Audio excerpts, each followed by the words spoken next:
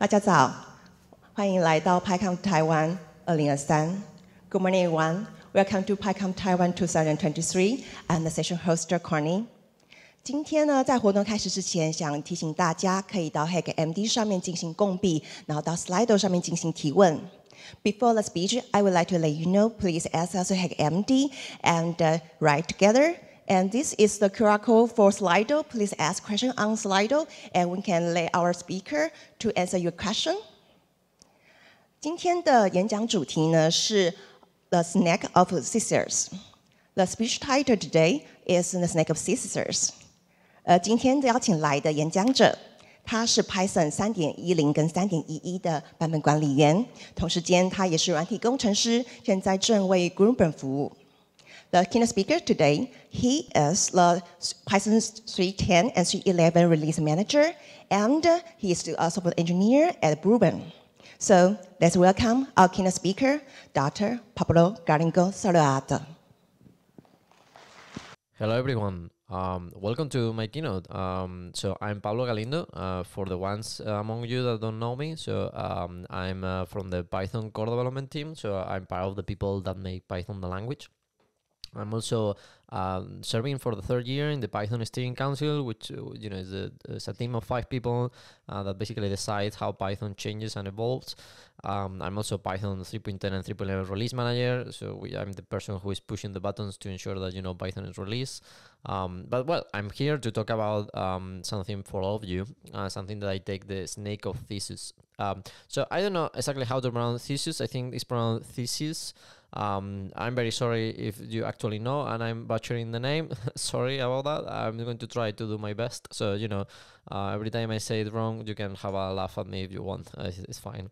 Um, so, what is this about? So, this talk is about uh, what makes Python feel like Python. And I want you to reflect a bit on this. And hopefully, at the end of the talk, you will learn a bunch of things. Some of them are a bit technical, but don't worry, it's not too difficult.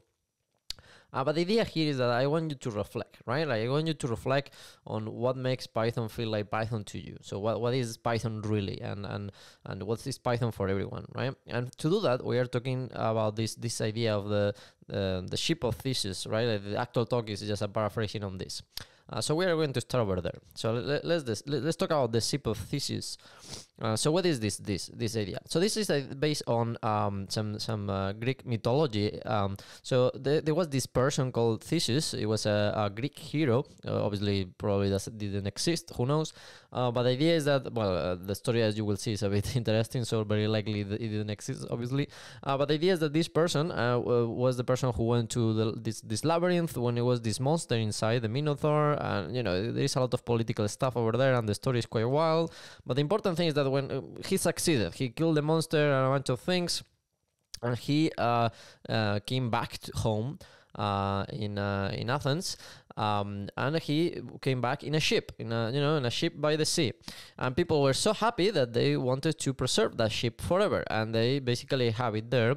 And you know, uh, when the, the the time was passing, they realized that oh, uh, some parts of the ship were like decaying, like some planks or some um, different things that need to replacing. So they replaced those parts. They changed the planks. They they put the stronger timber in some places, and things like that. And and the thing is that over time, uh, all the parts of the ship changed. So, so they have to replace all the ship as time was passing, right? But people still refer to that as the ship of Theseus, right? Like the again, sorry for the name, but the ship that this person, uh, you know, used to come back home. Uh, so it's very important. But it turns out that you replace absolutely every part of the ship.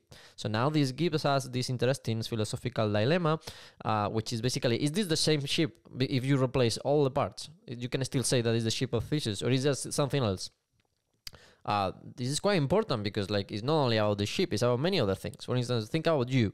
Uh, you are made of cell, cells of different types. Uh, these cells die and they are changed by new cells. So Im- imagine that you know you when you were 10 years old, and let's imagine you when you are like 60 years old. Probably there is not a single cell uh, maybe maybe neurons, but like most mostly all the cells uh, in your in your body uh, are new, are different cells. So so you are like the ship of Theseus, right? Are you still the same you or not?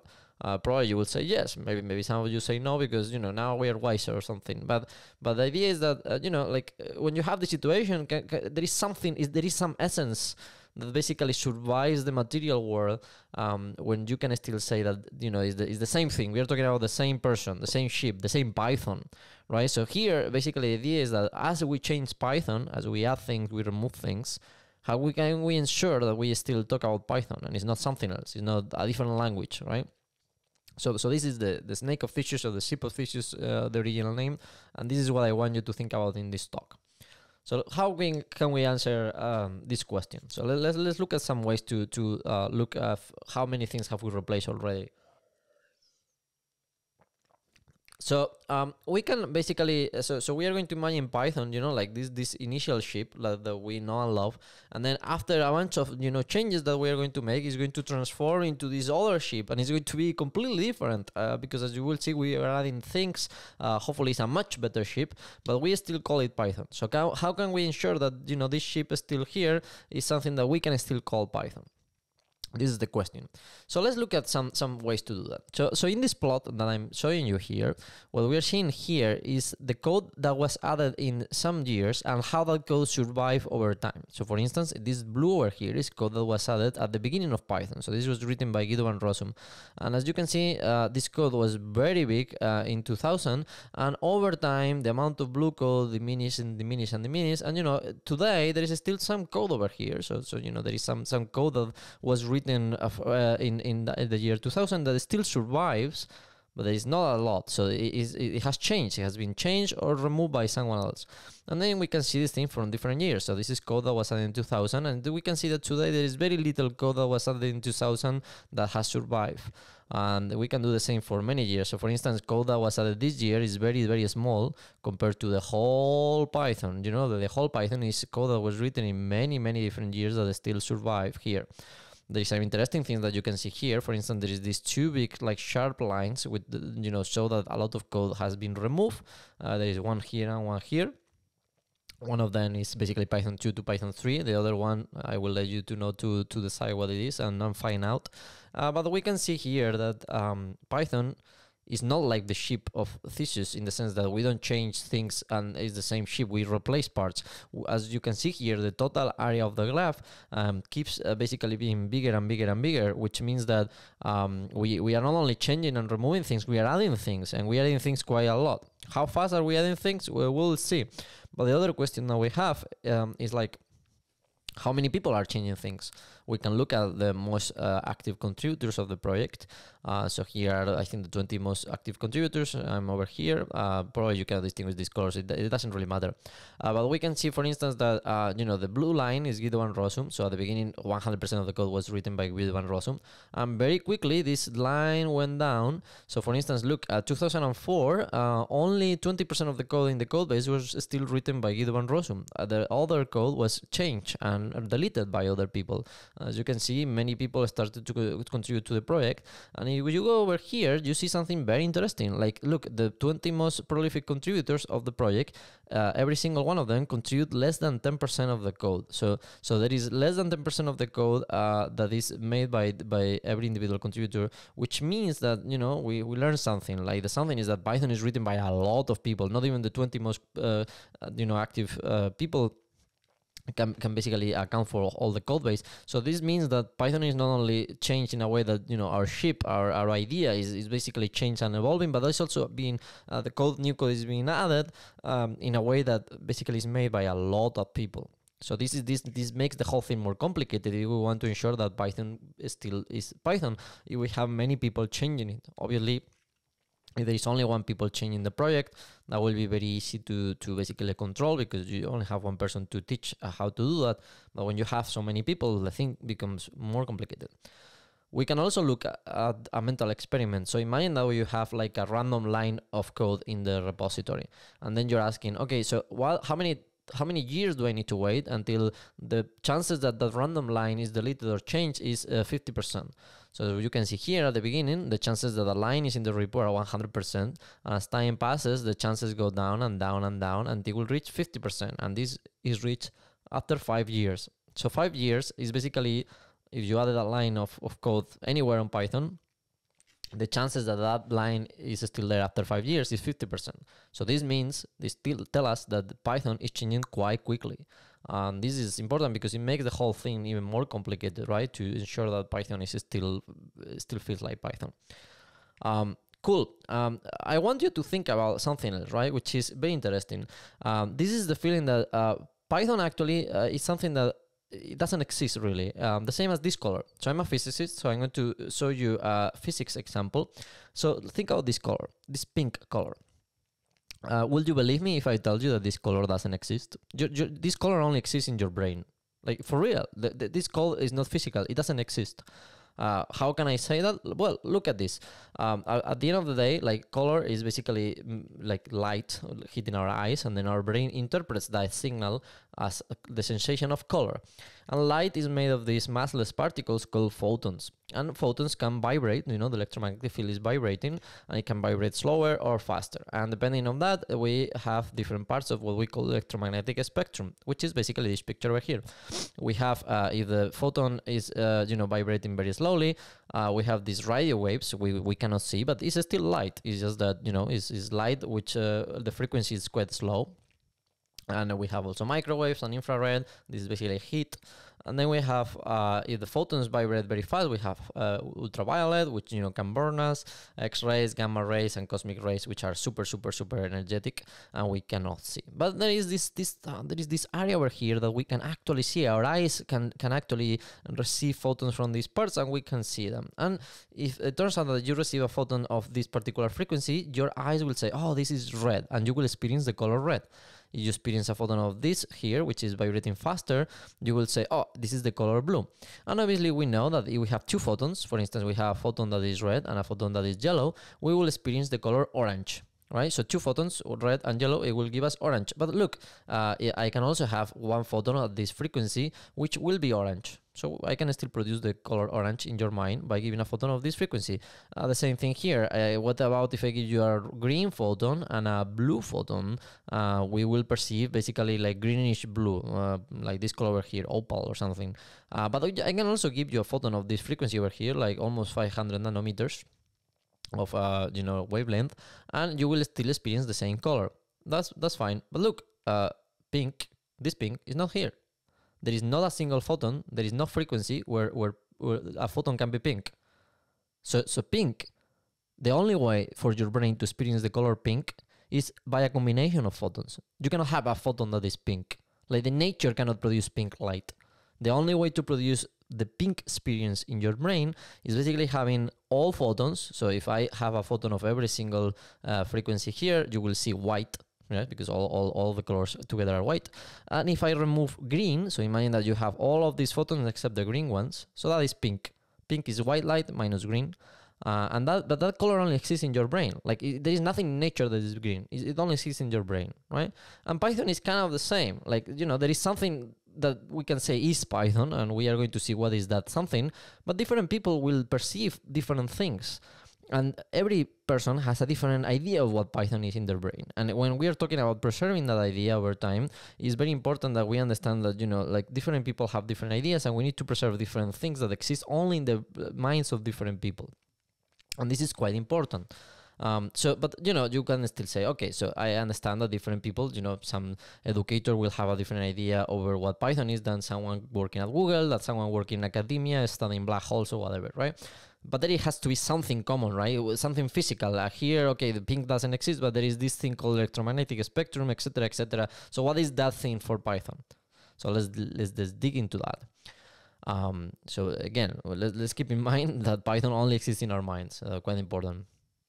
Okay, so let's dig into that. And that something is called the grammar. So this is basically the photons of Python, let's say. a very nice sentence. So what is the grammar?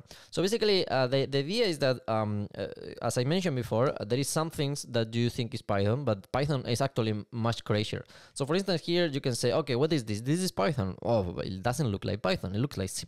Look, it has this template thing, and it has this like like you know like ellipses and and this starty that looks like some other language. Like what is this? Well, it, it turns out that this is Python. Like you can parse this, and you can produce this tree over here when like you know the dots are ellipses, like like t is is just the letter T, like uh, the, what it looked like a template, it was just greater than and smaller than, and this is just valid Python, but probably you will say it was this is, this is certainly invalid. Um, this is because the Python that lives in your mind is a much beautiful Python. It's a it's a prettier Python than the real one. The real one is it's a bit ugly, and um, and it allows a lot of things that you will probably never use. But still, that is valid Python. It's the same Python as the one that you write, right? So so you know this this gives us the question of. Uh, what is really Python and who, who, who says what is Python and what is not. And this is the grammar. And the grammar is a file that's going to tell us what is valid in Python. And I'm going to go a, a bit uh, over uh, how you read this file. So this file is going to basically contain a bunch of rule names. So, you know, for loop, while loop, things like that. And then a bunch of rule descriptions. We are going to see an example and you will understand very quickly. Um, we can have several descriptions for the same rule because we can have several options. You can. This means that this rule has two possibilities: this one or, or this one. Um, this is a bit verbose uh, to write. Uh, we normally write it this way. So we say that this rule can either be this or this is the OR operator, this one. Uh, so the OR operator. We can say that a rule, uh, for instance, can be like one or more repetitions of the character A um, as regular expressions. We can also say that a rule can be zero or more repetitions if we use the asterisk uh, of the character A and uh, we can also have optional optional parts. So, so this rule is the character A plus optionally this other thing. So you have the character A, it works. If you have the character A followed by something that this works, uh, then it also works. Um, so you can actually use this idea uh, to describe itself. So this is what you know parser people like me are very excited about is the meta grammar. So this is basically the grammar describing the grammar. So this is the whole the, what I told you basically describing itself. Uh, so you can see basically that a rule is an alternative or several of them separated by options. So you can say that a rule is something followed by optionally something else and something else and something else. Uh, you can say that an alternative is, is one or more items, and an item is the optional part or something called atom plus the, the one time or multiple times. And then an atom is like a rule between parentheses, which by the way recurses over here again, or a name, so the name of another rule, or a string, which is basically, you know, like the letter A or something like that. Doesn't matter if you don't follow it, it's just that, you know, there is a nice way to describe a grammar with the grammar itself.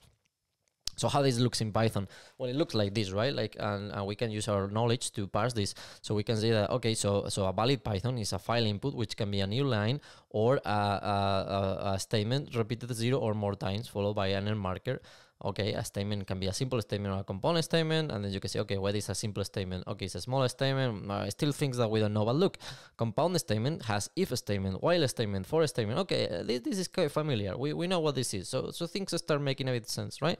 And if you follow, you will see that oh, now I, I see a lot of things that makes more sense. For instance, a for statement over here is the is the word for followed by something that is an expression list. We don't really know what this is, but then look in uh, that that makes sense, and then colon. Okay, so th- this is like a for loop, right? Like it starts looking like a for loop. So as you can see, like this is a, a nice way that we can use to describe. Um, like like what, what what is python right and this is quite cool and quite powerful because this file allows us to say this is python and this is not python and this is the technical thing this is the electromagnetic spectrum of python this is what the python is made of that this grammar file um, some terminology because I'm going to use it in a second. When we have a string, we call these terminals. Uh, so all these strings are terminals, and this is because we cannot expand them anymore. Like the word while is just while. You cannot do anything with that. But then we have these other rules names. Like all of these are different rules that we can expand. So so there is something else here that you know is and some other rule that we can go here and read uh, that are called non-terminals because they are non-terminals.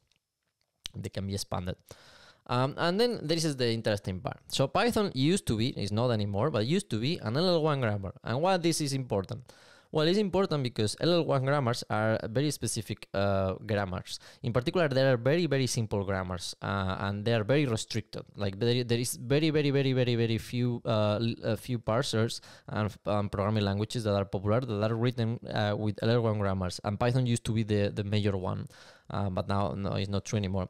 And why this is important? Well, because this idea that we have that Python is very simple to understand and seem very simple to write and very uh, you know idiomatic was coded in the idea that it was an LL1. Um, well, one of the things that was coded it was an LL1 language.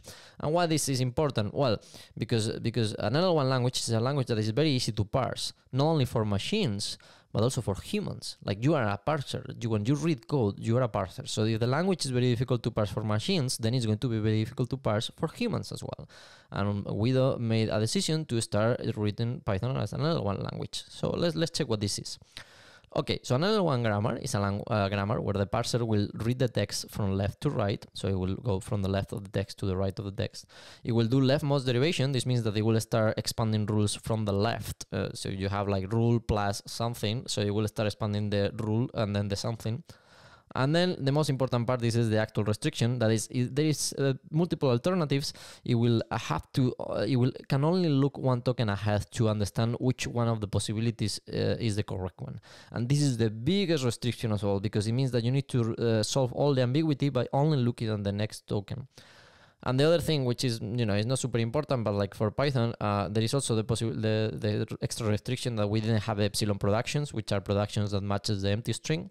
This just simplifies the parser quite a lot by uh, allowing us not to have something called follow sets, but it doesn't really matter what this is. Uh, so, so the most important one is the the the one token look ahead. So here, for instance, there is a bunch of like you know rules for the uh, L1 grammar of Python, the the the old one that we had. And uh, as you can see here, for instance, looking at all these del statement, pass statement, flow statement, some of them start with uh, these words, right? And then we have these expression statements, uh, sorry, this uh, small statement, which can be expression statement or del statement or pass statement or flow statement, right? So how can I know that uh, something is a small statement? So let's say I have the word break.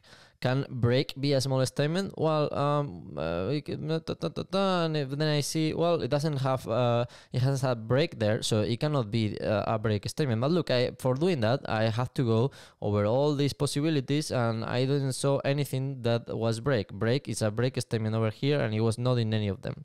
But how can I know faster? Well, look at this. These rules start with like some words. So del, pass, break, continue, return, raise, something, something. So if I know, for instance, all the possible words that the smallest statement can start with, so for instance, the smallest statement can be a del statement and del statement can be del, so del can be one of them. So if I know all of them, I could tell you very quickly if that can be, um, you know, valid or invalid. So for instance, these are the first sets of these rules. Uh, for instance, print statement can only start with print, raise statement can only start with raise. Uh, but for instance, simple statement can start with all these words. Uh, so the question is like, uh, like is continue uh, like something that starts with continue can be a simple statement. So you check the sets and yes, continue is here. So yes, continue can be a simple statement. You know, obviously more things than that but you have the uh, as i can only look one one token ahead if i have the word continue then it's, it's possible to to to be correct python. So that's important and these are the first sets. And this is going to be quite important to understand some of the restrictions that we have. So basically a first set is all the words that the grammar can start with.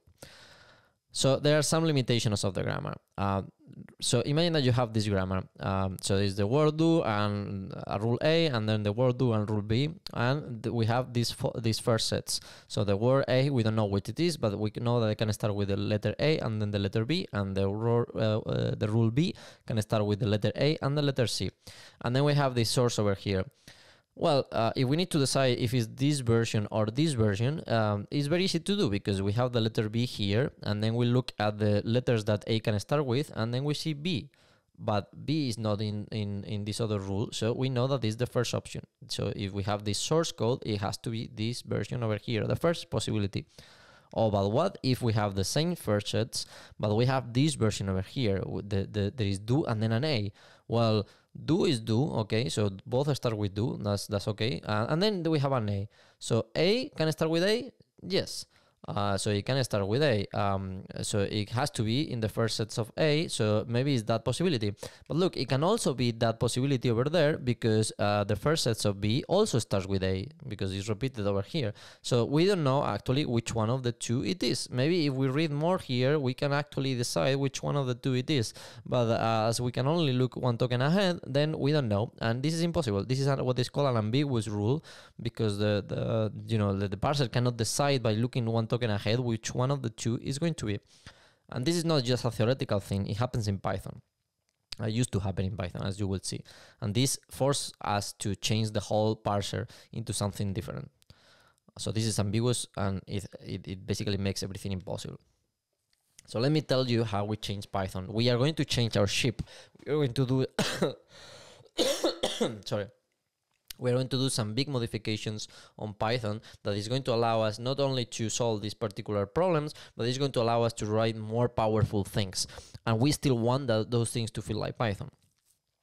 And for that, we need to take this this sentence in mind. Uh, uh, this sentence is so important that I have it actually tattooed uh, like here on my arm, and it basically says "ars est celare artem," and it translates "are it is true art to conceal the art. In this sentence, basically saying that that um, something artistic is something that you cannot see how it's achieved. Like you cannot see the process. It, it's something that is invisible. Like the, the, the, the, way you actually make something artistic is just invisible for the art. You just see the art. And the old parser was not not like this because the old parser you could see it. Like the, the, the, there were these things when the parser was showing and saying like, oh, you cannot write this Python. Like even if you think this will be Python, it will be good Python. Uh, the grammar doesn't allow you to write this thing, so it's not good Python, and therefore it was kind of in the middle. So, so it's important that when you're creating these things, that that they don't get in the middle, so so they are successful. So so uh, Python had this problem. For instance, with the walrus operator, this is the rule that we want to write. We want to write that you know the the, the, the walrus can be like a name followed by the walrus and then the um, like an expression or an expression that doesn't have the walrus. But it turns out that you check the first sets of tests name is here, which means that this name and this test are ambiguous because if you check name, it can be this version or this version. So this is ambiguous, and we were used, we were forced to write this other more generic rule when instead of name we write test here, and then in the compiler we do kind of a trick in C when we check okay that that that thing is actually a name, and if it's not a name, we're going to raise an expression. But look at this, this is wrong because this was done on the compiler, not on the parser like it's much later. And the parser is supposed to tell you what is correct and which is not correct. And but now we need the compiler just for some examples because the parser was not powerful enough uh, this also happens, for instance, on this other case when we are checking like um, the star expressions to check that you know you can only have names, attributes, and subscripts, um, and many other cases. And then we have this problem because with this file, which was supposed to tell us what Python really is, what is the pure definition of Python, turns out that that is not the actual language that we have because we have to write this other like tricky, hacky language just because the actual language was not L1 anymore, even if um, it is, it is described in Python. So, so that's is one of the problems that the old parser has but there is more problems. For instance this uh, this over here uh, is something that you will really like to write. Like when you have multiple like very long context managers it will be very nice if you could like open a parenthesis then write one context manager then comma another context manager then comma another context manager and then you close the parenthesis. This is very natural and you will think that this is cool and this is real good python. This is what people will think python should be because you can do this thing in many other places. You can do this thing with lists tuples etc and then you can do it with imports as well so why you cannot do it in Python? Well, it turns out that uh, sorry, this is something else. But it turns out that, that if you try to write this rule following an L1 grammar, it, it's ambiguous. Like it just it doesn't allow you to do it. The L1 parser doesn't allow you to write this, even if you think that this should be Python. There is more problems. Like for instance, rules in L1 grammars used to be super complicated, so they are very difficult to work with. And also they don't have something called left recursion. So if you have like, for instance, like uh, a plus b plus c, and then you're going to write a rule to uh, write express this you will have some rule that starts with itself to create this kind of tree over here. But unfortunately, an L1 parser will will not work with this because it will start. It has a leftmost derivation, so it will start expanding expression forever, which you know it doesn't work obviously. Uh, so you need to write like something like this, which is a bit junky and it creates this this other kind of trees uh, that then you need to like pre-process again into an abstract syntax tree that you want, uh, which is like not only more costly in memory but also is slower. So so you know a lot of problems here not only related to grammars. So we are going to change the parser. We are going to introduce peg parsers. So for, to understand what a peg parser is very simple, uh, we need to understand that you know the old parser and any parser uh, based on context-free grammars basically work by uh, using like if you have a rule that has several alternatives to understand which one is the correct one, it will basically use math and like you know this this uh, automatas to uh, basically decide looking at the next token, it will say okay the correct one it has to be D, and if it's not uh, D then it's nothing else because I use math and I deduce I use this this as a deduction which one was the correct one. A peg parser will not do that. So a peg parser will try A. If A fails, it will try B. If B fails, it will try C. And if C fails, it will try D, and so on and so forth. And this is the main idea. The idea is that the OR operator is order, and it will try every single possibility in order. Um, so, so the idea then is that you know to do that, um, every rule can basically return two possible uh, status. It can be either say uh, something succeeds or something fails. And if something succeeds, then the rule succeeds. And if something fails, then it is not means that the, the the text is wrong. It means try something different.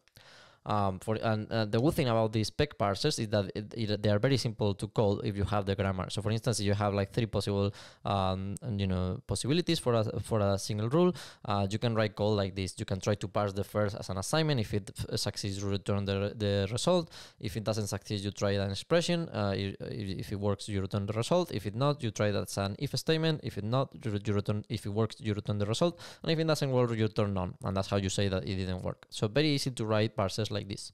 Um, the problem with this is that if you're trying every single rule until something works. That is very expensive, as you can imagine. That is actually exponential uh, complexity. And to basically make it linear again and fast and nice, we use something called a memoization cache. So it's a, it's a quite a sophisticated one. I'm not going to explain it because it's, it's too long for this talk. But the idea is that there are ways to grab this like apparently very complicated and, and slow parser and make it quite fast with some caveats because you can still uh, you know introduce some problems. We will see one funny example in a second. Uh, but the idea is that uh, these parsers are not ambiguous anymore. Like context-free grammars, normally uh, ambiguity means that you can have two possible, uh, you know, trees as we saw before. Like, uh, you know, a grammar is ambiguous if the parser cannot decide which one is the correct one. But because here you're trying basically every alternative in order, there is no ambiguity because the correct one is the first one that works. So if two works, the, the first one that works is the one that you're going to say that is, is correct. Um, so we basically implemented all this new parser in PEP 617 together with Guido and Lysandros. And, um, and since, since Python 3.9, Python has this extremely more powerful parser. Um, it's actually um, so powerful that um, as we will see, it has infinite look ahead. Uh, an interesting fact is that if you look at the commits, uh, so the first version of Python is the 1919 uh, 1990, and uh, the PEG parser was introduced in 2020. So it's 30 years since the the new uh, the old parser uh, was working there. Uh, so quite a long time for a parser written in 1990. It, it served as well. Um, so sorry, the dates are there. Uh, cool. So so the, the, the, these parsers are so powerful that they, they basically have infinite backtracking. This means that they can backtrack compared with uh, you know the, the regular other parsers. They can backtrack infin- infinitely um, uh, to to find like uh, which which one of the possibilities uh, cor- is correct. And this is what we say that is you know exponential time. And if you don't introduce the memoization cache correctly, it can have problems. So for instance, uh, this is a real problem that happened. Uh, if you try to parse this incorrect Python syntax, so a bunch of open brackets and then a colon, uh, this takes two seconds. If you try to parse like something a bit bigger, uh, but still incorrect, this takes over an hour. And this was a real example. It's an example that now is fixed. It takes now uh, milliseconds. Um, but this was a real example because we forgot to add a cache in a specific place reporting error messages. And you know, here's the commit when I fixed it this year, 9 of February. So again, almost two years until this was reported, but it's, it's a problem if you don't, um, you know, add, add the commits, uh, sorry, the memoization cache in your commits. So you need to be a bit careful because, you know, with great power comes great responsibility, right? Also in parsers. But now this parser is so great because it allows us to do much more uh, super powerful things. So now let's let's explore this new world. So then the new world is now that you you have this ship, right? Like you have the old Python, and then you change a bunch of things in the ship. You upgrade the ship, and then you have now turbo powers. Uh, your ship is super fast. Now, what do you do with this power? Because the objective is not to like transform Python into some crazy new language. It's to still make it feel like Python but better. So so how we achieve that, and what things we can do. Well, one cool thing is that in Python, sometimes we're introducing new concepts. When we introduce asyncio, we introduce these two keywords called async and await. And because they are keywords, it means that you cannot use them as variables. So for instance, if you write now async equals 3, uh, this is something that you could use, do in Python 3.4, for instance. Uh, right now, it's not uh, possible uh, to write that code or this code. You cannot assign to the keyword await because it's a keyword. But before you could. So introducing new keywords used to be backwards incompatible. And that is bad because then what people in Python 3.4 thought it was Python, after the upgrade, then it's not Python anymore. And people really don't like that, right? So using the new PEG parser, we introduced this new concept called soft keywords. So the keywords can be now two different kinds. It can be a hard keywords, which are you know like a async and await now, or like for or if. Uh, basically, uh, if you try to assign, it will fail. Uh, but the peg parser allows us to have this new thing called soft keywords, which are keywords that are contextual. So if you use them in the correct place, it will act as a keyword. But if not, it will act as a variable name or a assignment. So your code will still work even if we added these new capabilities.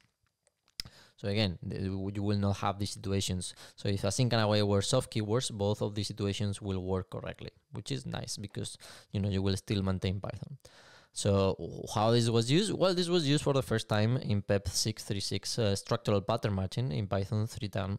And um, the idea here is that uh, now you have match and case as soft keywords. You can still assign to match and to case. You, you know you can have these things as variable names or parameters in functions. Uh, but now you can have this super cool thing called pattern matching. Uh, for instance, I don't know if you have seen it here. This is just an example. Uh, so with pattern matching, you can say, okay, I have a command and I split the command, so I have now a list of things. And then you can say, okay, if I have a list with one element called uh, quit, I will I'm going to quit my game. Um, but if I have a, the command is just look, I'm going to call this this this function called look. But also you can say, oh, if I have if the command is basically a list with the word get and something, and I don't know what this is something, this is going to capture it, and then you can use it over here in in a function call, which is super super powerful uh, because you can have like for instance the the different first commands and then capture the second thing and do different things with this. Uh, sadly, people think that this is a glorified uh, switch statement. This is much, much more powerful because it allows you to, you know, uh, match constructs uh, and, and structure, which is super, super powerful. Uh, you can also have this this uh, underscore as a soft keyword, which is the default case. Basically, if none of these work, then then underscore will be the default, which makes the underscore also a soft keyword because you know, like now it's acting both as a keyword and as a, as a variable name if you want to. But here's another cool example that you can have. You can have, for instance, the a list with uh, starting with the, the word drop and then one or uh, sorry zero or more objects that you will use here. So so this can be quite involved and by the way, pattern matching, now that we're talking about pattern matching, is so powerful that you can have something like, like for instance, a data class, like this click example. So you're writing some kind of game and then you're checking like the user is clicking uh, uh, keys in the keyboard. And then you can say, okay, I will get my event. And this is one of these click classes. I will capture the position uh, like attribute over there. I will capture it. It's a tuple. So I will capture X and Y. And then I will call this function with X and Y, whatever these X and Y are. And I will say, do the same thing as a key press Uh, class, which I will capture only when the key press is a Q, and then I will quit my game. And the same thing if, if it's uh, like up arrow, it will go north, right? So, so you can write these, these dispatch loops in a very efficient way with and if you think about how, how you need to write this thing using um, you know like uh, conditionals it will be super difficult to do. So so so python now has this thing that you can think is crazy it's just because you know it's new. Uh, but this was only possible due to to, to the parser right? So so sometimes sometimes changing this this ship that we're talking about it makes these these possibilities appear and and you know not all the possibilities need to be taken. But sometimes it allows us to have this thing that we we thought it was a nice addition to the language and it allows you to be super uh, so, so, so, sorry, super expressive with little code, which is really really nice. You can do more complicated things like matching on dictionaries, but, but let's let's move on. Um, so all of this was only possible with the new peg parsers. So now that you have this super elegant ship with like your signing uh, peg parsers, now you can still add things in a way that people still think, oh, this is still Python. Still, there is some people that in their representation they may not think like that is Python, but that can be true, or that can be also because it's just new. Like, oh, this is uh, something new. You know, it used not to be that way. You just need some example. As an example, for instance, F strings when they were introduced, people really hate them uh, some people really hate them and now everybody loves them right because like they are super useful and they are fantastic so so this is a good example that sometimes you only need time so another example of changing things uh, in a way that two different people think different things. So so this is this is a really uh, interesting case that happened to us, which is type annotations. Uh, so there, is, there are uh, two main topics here, which is the static typing and dynamic typing. And uh, I'm just not talking about dynamic typing uh, languages. I'm talking about the usage for uh, annotations in Python. So in Python, you can have annotations used as a static typing. This means that you're not going to do anything with them when Python runs. You're going to run tools over the source, and the tool is going to tell you something. This is, for example, MyPy. So MyPy will look at your source and it will tell you, oh, there is this, uh, you know, typing problem over here. You need to fix it because you're passing here a string and this function expects, a, uh, you know, a float or something. And you can do this thing without running the code, which is super useful because it will tell you bugs before you even run the code. And here, uh, dynamic typing is basically uh, like using these annotations at runtime. So to validate, for instance, that you are actually passing a float, even if uh, you know you receive it from some JSON. And an example of this is Pydantic. You know, uh, it will validate it only when Python runs. So this example, these uh, these things uh, only happen when Python runs. Uh, so this these were introduced in different PEPs. Originally, when we introduced the uh, you know all the annotations in PEP 484, uh, we only were thinking about the static usage of these annotations. So all the feature sets and all the ideas were introduced uh, with this in mind. Um, then uh, we realized that there were some problems with this. We will see which ones in a second. Uh, and then it was this uh, PEP 563 that introduced this idea of having from future import annotations to treat all annotations as strings, which fixes the problems. I will tell you in a second which problems. Uh, but turns out that this was still not uh, working for all cases because people that are using annotations dynamically still needed the actual objects there, right? For example, Pydantic. So recently we have another PEP which uh, was recently um, you know then, uh, accepted by the steering council, uh, which basically introduced a mechanism for allowing these tricky situations to work. So so quite a lot of um, different uh, ways to approach the problem and, and to fix the problem. Just because you know turns out that using annotations uh, at runtime is important for a lot of people. So for some people they don't think that annotations should be used at runtime, but for other people they really like that. And these are two different Pythons in two different uh, groups of people. So the problems are the following. So imagine you have a, a function foo and then your function foo has basically a type called my type. But this type is defined later. So how can you write this uh, if the type is, is, is, defined here. Because when you execute this code, what Python is going to do is something like this. It's going to create an annotations dictionary with x and my type, uh, sorry, an x and y, which are the names of the uh, parameters in the function uh, as strings. And then it's going to invoke my type over here and uh, what you define the function. And then it's going to stick this dictionary in the annotations, uh, you know, group. And then it's going to define my type. And then it's going to put the annotations in the, um, in the annotations. The problem here is that obviously you define my type before this, this is going to uh, raise an exception because at the time you put my type here, this doesn't exist because it's defined later. So that is a problem. So with PEP, um, so the stringify versions of annotations, what it will do is that it will treat all annotations as a string. So my type now is a string. Um, there is no problem because even if you define my type over here, because this is just a string, uh, a, a, type checker like MyPy will basically be able to resolve that these two are the same because it's just treating the source as a string, it's not executing it. And when you execute this code, you will have the string my type, which you can always have, and you have no problem. The problem is that things like Pydantic and other usage of dynamic uh, usage of annotations will need this to be the actual class my type because it's going to check things like is instance and things like that, and this doesn't work for them.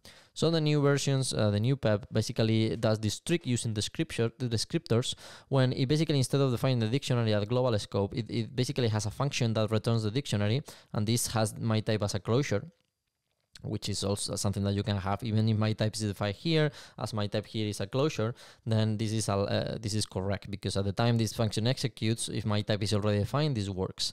And then basically the way you you get the the annotations now is through this this descriptor over here um, uh, which basically is like like a property. So when you get the annotate um, um, uh, the annotate field, uh, this will be called, and then the dictionary will be returned. So annotations works correctly as you will expect. Um, so so this means that you know there is different ways to see annotations, uh, even if you don't only um, care about uh, all, all, all of these aspects of dynamic versus static typing. For instance, uh, people that uh, you know are doing small projects and education, they normally don't see annotations as something super useful because they kind of get in the way. They, they they see it as something super complicated because it has a funky syntax and now it's a bit difficult to read, and they, they don't see Python as something that should have annotations. But on the other hand, if you are living in like uh, the enterprise world or you're doing like large projects, then you know annotations become very useful. Why? Because annotations can now be used in uh, to find complex problems with MyPy or to have you know auto completion in IDEs because it can tell your IDEs like VS Code and things like that what are your types and then you can get like nice auto completion and it will help you refactor and do static analysis and much more. So these are two different groups and every of them uh, will have a different idea of what Python is. But we need to ensure that all of the things work here, right? For everyone. So at the end of the day, uh, you know, this was a very complicated discussion, uh, you know, in the steering council and the co-develop team. And at the end, we actually accepted PEP 649, even if it's quite complicated uh, for Python 3 uh, 13. So so next year uh, that will be uh, the way you will get annotations to make everyone happy. But even if you make everyone happy, these two groups still exist, right? Like there is people that still don't feel like annotations are part of Python, and uh, there is people that love annotations and think that yes, please let's have more of that. And we need, we need to find a way to to make sure that Python, the actual platonic idea that we provide, uh, works for everyone, even if they don't want to use some features. And the last thing I want to say is because it's kind of like new and, and it's important as well is this this this work that we are doing and we are starting to uh, remove the GIL which is a, quite a big thing. So the GIL is this is, is the global interpreter lock, and is this thing that uh, prevents you to write um, like like Python code that is parallel. Right now with the GIL, you can only have one thread running Python code at the same time. Uh, so so turns out that this, there is this this uh, gentleman called Sam Gross. He works at Meta, and in seven and the seventh of October 2021, he submitted a, a, draft to the Python mailing list with a, a, a fork of CPython targeting Python 3.11. Uh, sorry, this is wrong. This is not 3.12. It's 3.11. Uh, and he saw that it was possible uh, to remove the GIL without having a you know huge performance penalty. So he did this with a lot of like super clever engineering, but also adding a bunch of like optimizations to account for the things that made his Python small uh, slower. So uh, after a lot of time, so this is the first submission, and this is the actual next step. So the 9th of the, the 9th of January of this year, he created a PEP. So so the Steering Council could decide. Uh, PEP uh, 703 is a fantastic PEP. It's quite long and technical, but it's you know as this kind of PEPs uh, needs to be. And a lot of discussion happened between these two months in the Steering Council and the community because this PEP is super complicated and it is very difficult, and, and you will see why. And uh, 20th of July, we decided in the Steering Council to tentatively accept PEP 703, which means that we are going to, uh, you know, accept it with some caveats. But as you can see, it took us a long time to decide that we wanted to follow this this path. So why is this a challenge? Why, what, what is different difficult with this no-GIL thing? Well, the first thing is that uh, even if this works and it's a fantastic word on engineering, it's quite complicated. This complicates CPython quite a lot, and this I'm talking about maintenance here. So, so this makes uh, this basically makes Python very difficult to maintain, which means that it's going to be harder for us to fix bugs, harder for us to you know like like uh, solve add new features and ensure that it works with everything, right? So, so it, it means that maintaining Python will be harder for the people that we're doing that. And then it has some compatibility problems because C extensions like NumPy or Pandas and things like that, or SciPy, they may not be compatible with the GIL because you know right now they are thinking that there is a massive lock, uh, but when the lock is not there, then now what happens? There is also a performance implication. Okay, so so you can have parallelism, and that is quite nice performance, you know now you can have like multiple threads running python. Yeah but like now uh, what, what happens with like single thread python like that when the GIL doesn't matter? Well uh, maybe it's a bit slower and maybe uh, you know some of the things that no GIL needs is are incompatible with the faster CPython team optimizations that we have right now right? So python 3.12 and 3.11 are much faster than 3.9 and 3.10 due to the work of the faster CPython team so so no GIL may not be the best fit for that. And then packaging is it can be quite complicated because if the no-GIL is uh, binary incompatible, it means that you need to generate binary wheels for GIL and no-GIL, which means that every single package needs to publish uh, twice the same number of artifacts, which will complicate and, and will complicate testing and, and packaging quite a lot. So we are trying to figure out how to solve all of these things to move forward. Um, but on the other hand, it's quite nice because, for instance, if you execute this code, which is calculating Fibonacci numbers with a bunch of threads, so a thread pool executor, this is the uh, classic benchmark to measure how bad is Python with the GIL. If you use, uh, you basically say that 100% of the execution time is Python with the GIL. Well, running Python with, with without the GIL is 5% of the running time. So this is this is basically 20, find, uh, 20 times faster using 20 threads. Obviously, you use 30 threads, it will be 30, 30 times faster. Or in other way, uh, you are doing 30 times the work uh, in the same time, which which isn't what you will expect. Um, if you have the GIL, then it will be even slower than single thread, which is very badly. Um, but then uh, you have different types of programs. You can have IO bounded code, which will um, will not benefit a lot from this because they are basically waiting for the kernel to do something, uh, and having like multiple threads running is not super super super great here. It doesn't really matter that much. It matters, but not a lot. Then you have CPU bounded code, like you know executing instructions or numeric work on things like that. This is going to benefit a lot from uh, no GIL work, and obviously in reality you will have something mixed, right? You have some threads that are doing IO bound and some threads that are using some CPU bound, like the coding and encoding and things like that. And a lot of the workflows in the world are like this. Therefore, they will benefit a lot from from this parallelism. So we are really really excited, and everybody is really excited about this this no no GIL world, even if it's going to be a bit tricky. Uh, so the timeline that we have think in the steering council basically looks in the three stages. At the beginning, uh, so no GIL is going to be basically marked as experimental, and then we'll be basically we'll be gathering some information. We will understand the problems, and then we'll figure out APIs and interfaces, and we will not ship no GIL builds. So so people need to basically uh, build them themselves. Uh, or, or, or getting them from somewhere. Then, uh, I mean, these, these, these years are basically um, just uh, for illustration. Then in uh, after three years or something like that, we will call this supported, and uh, it will still not be the default. So the default will still be GIL, um, but we will have a target when we want to make it the default, and then we will start shipping official no GIL uh, Python versions.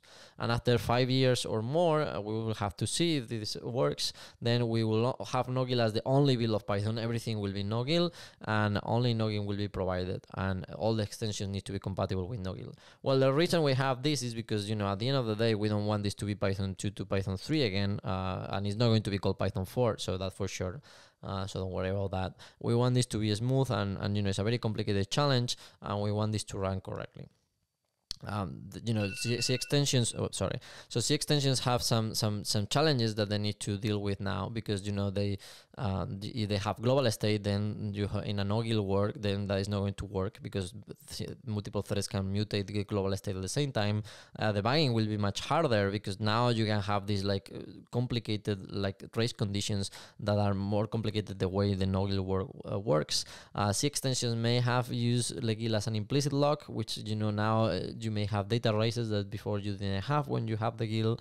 Um, you know, different C extensions may struggle now to work with with other GIL extension uh, with with other extensions uh, if they put locks around the interfaces and the locks can deadlock.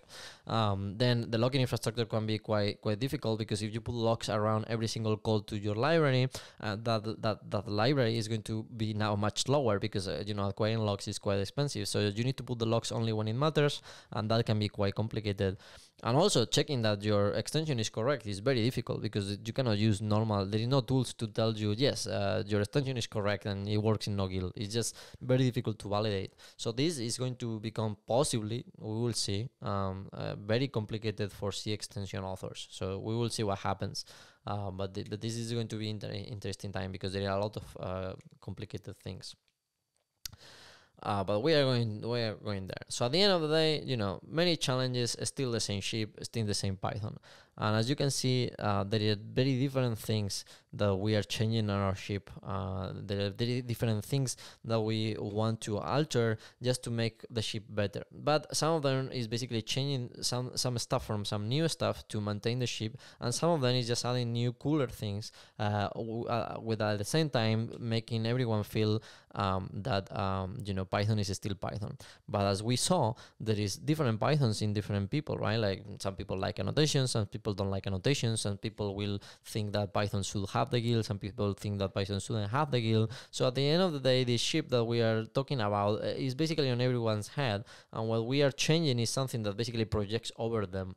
Um, so this is a difficult challenge, as you can see, and we are doing our best. We are also just humans, so so you know uh, it's a complicated thing to do. We we commit sometimes errors, um, and we need several peps to to change it. But at the end of the day, like you know, the idea of um, ensuring that people still feel like the the new ship is still Python is basically by maintaining uh, and understanding these core ideas, uh, what makes Python Python, and ensure that at least it works for everyone. And maybe not perfectly, and maybe some people don't like the new additions, but at the end of the day, if it works and is better, and people are still, uh, you know, people have uh, this joy of writing Python, and they still feel like, you know, oh, this Python that I'm writing is very easy to write and it's very pleasant to write, and I love to use Python because it has this ecosystem and these fantastic people, and you know, at the end of the day, it's not just the technicalities of Python; it's also the community. So it's the people that go on the ship that makes the ship also the same, right? If if uh, everybody is nice there, uh, and you know that if you go in the ship with us, you're going to have a nice time, then it's still the same ship that you know and love. So uh, again, uh, maybe not a lot of answers here, um, but it's an interesting journey, like uh, uh, like the one that we could do in this in the ship here. And I hope you have reflected a bit on on like all these topics, like what makes Python Python, um, how how to change these things. Like if I change everything, it's just a new language. Is Python 3.12 the same language as Python 3.5? There's a lot of questions, and the aim of this talk was to make you reflect a bit on these questions, more than giving you all the answers, right? Even if I give you some some interesting answers or what I hope are some interesting things. Well, so having said that, I, I hope uh, you you enjoy this. Um, so here is my email and my Twitter account. Uh, you can contact me if you want, if by email or, or in Twitter, or now it's called X. So you can use X if you want. uh, but uh, I will be super happy to talk to all of you. Of course, now it's going to be, I think, a, a Q&A. I'm going to be actually on the other side of the world at 4 a.m. in the morning. I'm very happy to answer your questions. Uh, so please ask me any questions you want about these topics or any other topic that you that you want. And I hope you have enjoyed the talk. Thank you very much. Thank you, Pablo. I hope you enjoy the uh, speech tonight, uh, today, sorry. So let's show Pablo online, please. Say hi to Taiwan audience, please. Hello. Hello, everyone. Hello, Python Taiwan. How are you doing? Oh, I think everyone is still enjoy your uh, speech. So uh, would you like to start your Q&A session? Uh, so, so um, I'm super happy to be here. Actually, um, uh, thank you. I'm a bit sorry that I couldn't be with all of you there, um, uh, but you know, like uh, the life uh, always gets in the way. Um, but maybe maybe another year. Um, I hope the the you know was not uh, too fast. I know I speak a, a, quite fast. Uh, so I hope uh, you could follow nicely. Um, and I think we have some Q&A right now, right? Yes. So can you share our Slido, please? We do have so many questions on Slido. So when you scroll right. down, yeah, and select one question you want to answer, uh, answer first. Okay, so let's go with the let's go with the first one. I think the first one. Let's start from the top. Okay. So we have, uh, so what is the biggest difference between Python 4 and Python 3 if Python 4 appears one day in the future? Oh, this is a very good question. Um, so, so if we ever have Python 4, um, it needs to be something like, it, has to be something like is fundamentally, it, it, like it changes the language in a, in a fundamental way in the sense that, for instance, it will be something if we change the C API or something like that. Uh, uh, we we learned and we don't want to repeat that for sure. So we are not going to have another Python 2 to 3. Um, so Python 4 will not be as disruptive as Python 3 was. Um, that's the reason, for instance, if we remove the GIL, we are not calling that Python 4, like for sure. Like we already know that. But um, but if we ever have Python 4, it's because we have changed something like quite big, and we want to make it clear that you know in some ways the old version is not fully compatible with the new one. Um, and if, uh, if, you ask me, I think in that case, what we will be talking about is the C API. Uh, so this is like the, the, the, way compile modules for Python interact with Python, like NumPy or Pandas or TensorFlow or things like that. Um, and right now it works, but but you know it's not the best.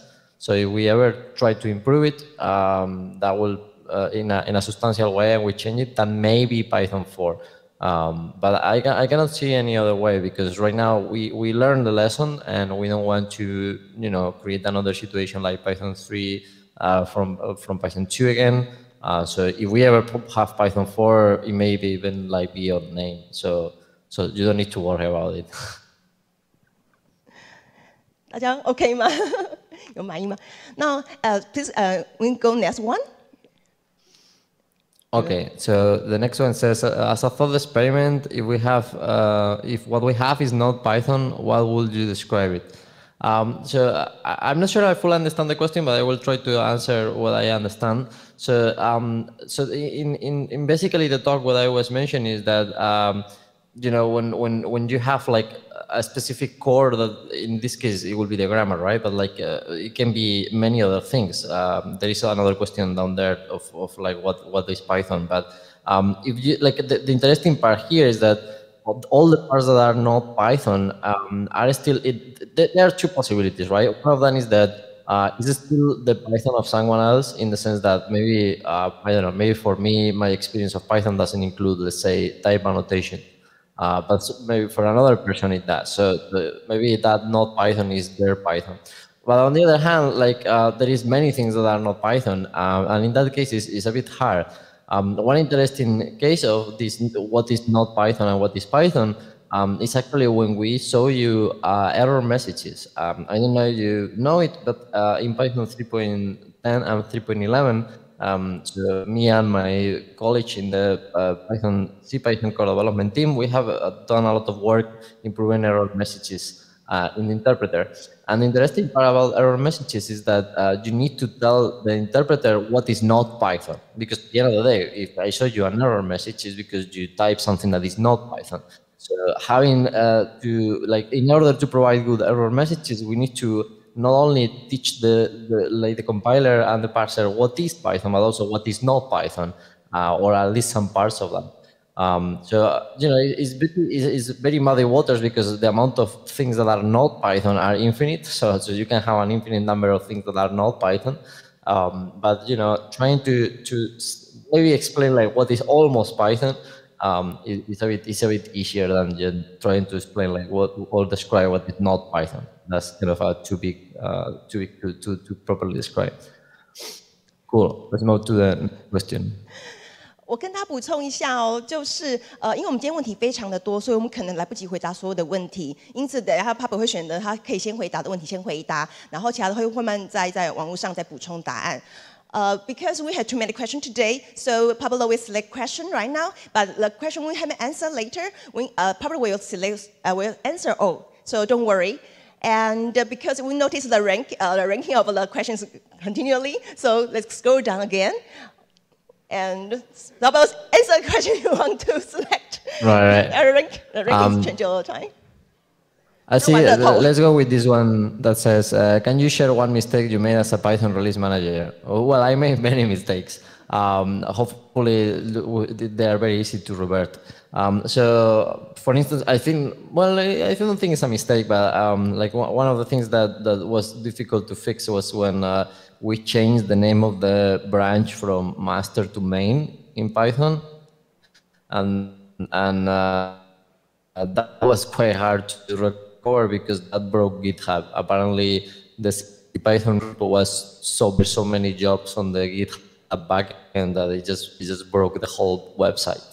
Um, that is not a mistake, but like, you know, it's a, it's a weird thing to say. Uh, in, in terms of actual mistakes I have made, um, uh, hopefully like the, the, the, good thing about making mistakes as release manager is that you can correct them and nobody sees them. But uh, some of the classic mistakes that I have made, for instance, is that uh, when, when you finish like the release of a branch, so let's say you're releasing 3.11, so you prepare like all the changes to Thank you. 311 that are needed to be the release. And then you basically merge that those changes into the 311 branch. So you can see it in the Python repo. So sometimes what, what happens is that you tag the commit before the merge. Um, and, uh, and that's how it's supposed to be. But like so, sometimes I made the mistake of tagging it after the merge and that triggers like a tag in a different commit because the merge commit is different. And when you push it to GitHub, then uh, like 311 is not what you said is 311, and there is that many systems that start failing um, but that's fine because like we, we, we have systems that check that and then it tells me that something is wrong, and then I can just fix it very easily. Um, but yes, I mean, I mean, um, there is there is not a lot of mistakes that you, you can see uh, because we, we tend to correct them. Uh, we have to normally restart the release if something like this happens, um, or like if there is any problem that we have never seen uh, and only happens on Windows or macOS. Uh, this happens more often than than you will think.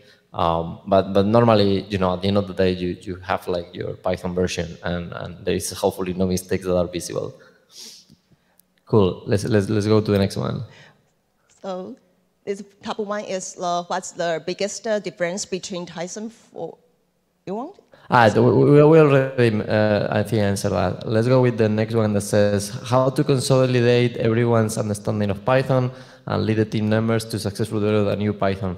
Well, that is a fantastic question, and it's very, very hard. Um, so, so it's impossible. So, so one realization is that it's impossible to consolidate everyone understanding of the language. It's just because there are so many use cases, and those use cases are normally contradictory. Like for instance, there is people that are using Python to teach, um, uh, people that have never seen programming, and you know, making the language more complicated goes against that, right? Uh, on the other hand, you know, like there is usage of Python, like enterprise Python, when like you know people have uh, almost like millions or, or, or, millions of lines of code and you know having things like annotations and um, things that you know tooling and, and, things like that is very important.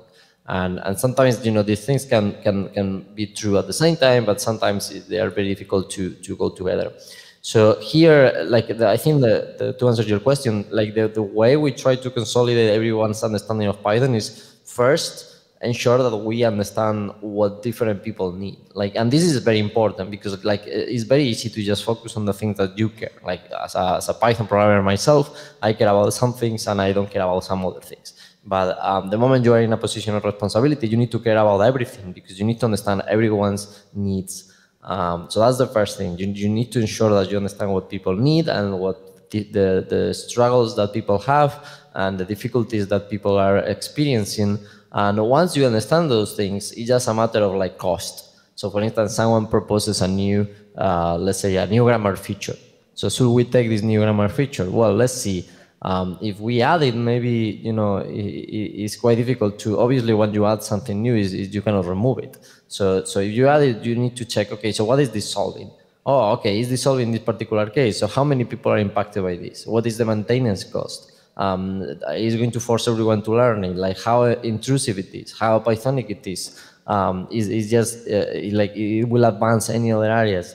And different cases uh, have different answers. Like for instance, when we added exception groups, uh, you could think that that only affects asyncio people, but we actually think that this is a like new enough, uh, you know, exception control mechanism that was warranted to be uh, in, in, in the language, even if you could argue that initially this was only for asyncio. So, so it's a very hard thing, and sometimes we get it wrong. Uh, but hopefully, you know, like we, we, we put a lot of hours and a lot of efforts, like many, many hours on making sure that everyone's vision and needs are represented. So, so very, very good question. Thank you very much. Thank you, Pablo. It's pity we only have 10 minutes, so it's almost there. So, uh, Pablo will answer more questions online, so please uh, provide your answer, uh, question online. And uh, thank you again for Pablo. You're, maybe you are in London, you cannot be with us, but we are happy to be with you right now. 呃，非常谢谢 Pablo，虽然不能今天不能来到台湾，但是他还是跟我们分享他的经验值，还有他回答这些问题。如果他还有任何问题的话，请在 Slido 上面再放上你的问题。等一下我们的 Pablo 我们会再把他的答案提供出来。然后非常谢谢大家。我们今天的呃主要的 session 已经结束了，那接下来我们还有三个 session 会继续下去。首先这个是 R 零的地方，我们这个地方呢，等一下会有一个是呃是 Pico 所的演讲，然后呢它的主要的语言呢是英文，它的同篇也是英文，主题呢是 Comparison of Packing Tours in 2023。Uh, next session in this room, we have uh, our speaker is Pico, and uh, his speaker title is Comparison of Packing Tours in 2023.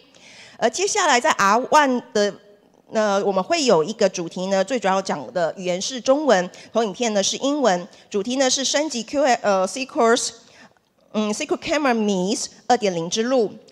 uh, in room R1, we have uh, our speaker is Kenji Pa, and uh, the speech title is um, Upgrade SQLAlchemy 2.0. And the speech language is in Mandarin, but the PowerPoint is in English. And 接下来呢，在 R2 的会议室呢，我们有的讲者呢，他是 Iris 陈，他的主题呢是呃 Changing in Data Cleansing and Transformation Mistakes Confused 呃 Confusion and Solution。嗯，他的沟通的语言呢是中文，但是投影片呢是英文。Uh, for in our run R2, we have our speaker is Iris Chen, and the speech title is uh, Challenging in Data Cleansing and Transformation, Mistakes, Confusing, and uh, Solutions. So uh, welcome to join the next session, and uh, we'll see you later. 非常谢谢大家参与，我们待会再见。